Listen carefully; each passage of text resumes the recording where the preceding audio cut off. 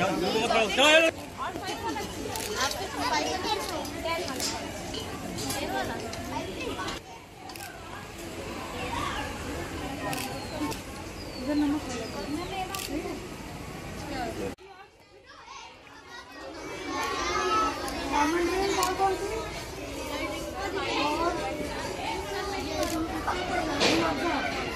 सारी चीज़ें हमारे लिए किस ये किस चीज़ों से नीचे बनी है? है किसी को हमें चीज़ें मिलके हमारी बॉडी को क्या करती है रिफ्रेश ना। गर्मी में हमें बहुत प्यास लगती है।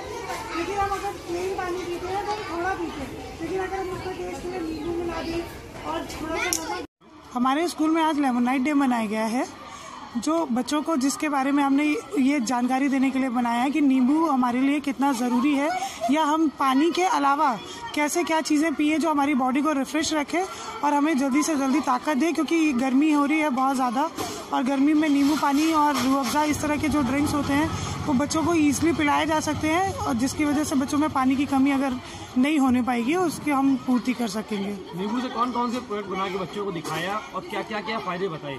नींबू से हमने उनको नींबू पानी का एक तो नींबू पानी का जो सिंपल होता है वो बना के पिलाया उसके बाद हमने जलजीरा बना के उनको पिलाया।